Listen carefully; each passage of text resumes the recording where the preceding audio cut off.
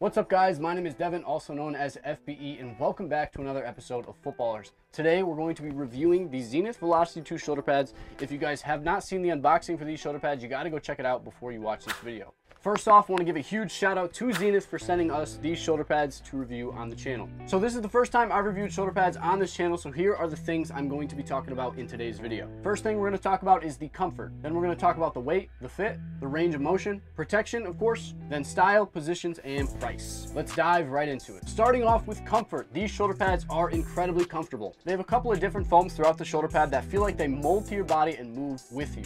The foam on the top of your shoulder is super thick and absorbs a lot of contact. Then the foam you guys see on the front and back of these shoulder pads is Xenith's air management system foam. It's super light, it's really comfortable, and it feels similar to a mattress. Also, this neck roll is super soft, so when it rides up into your neck, it doesn't hurt too bad. Now let's talk about the main selling point of these shoulder pads, and that is the weight. These things only weigh 3.5 pounds, which is insanely light for a shoulder pad. These are easily the lightest shoulder pads I've ever worn and you can truly feel the difference on the field. They're super low key, but still really protective. Now let's talk about the fit of the shoulder pads. I got a small because first of all, I'm a small guy and second of all, I like my pads to stay pretty small. These belts you guys stay here, lock the shoulder pad on and it stays put the entire workout, practice, or game. Personally, I don't trust shoulder pads that don't have these belts. I grew up when they just had those elastics with the T-hook and those suck compared to belts. Another fit related thing about these is that the pads truly feel like they move with you. When you move your body, they kind of, they move with you. They don't constrict you or keep you in one place. And that leads me into my next category,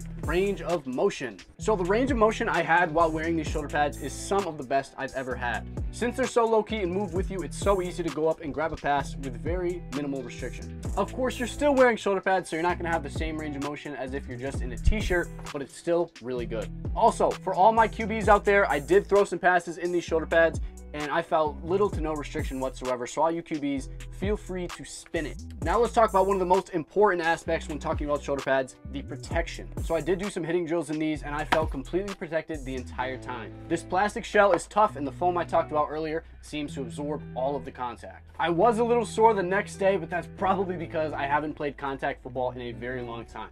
But like I said, I felt protected the entire time. Everywhere this shoulder pad covered was completely safe.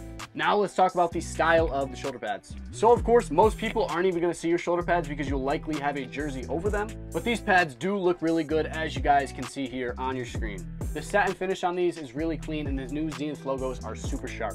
Also, this shoulder pad comes with a place to hook up a back plate, which is awesome. Now let's talk about what positions these are best for. So these shoulder pads are advertised as a shoulder pad for every single player on the field. If you guys watch the unboxing, you already know that. But now that I've got a chance to test them out and review them, I'm gonna have to agree with Xenith on this one. I feel like anybody on the field can wear these. They're lightweight, they're comfortable, and they protect you. What more could you possibly want? Also, they have a full range of motion, which is important for QBs, wide receivers, linemen, literally like everybody on the field. Now let's talk about the price of these shoulder pads.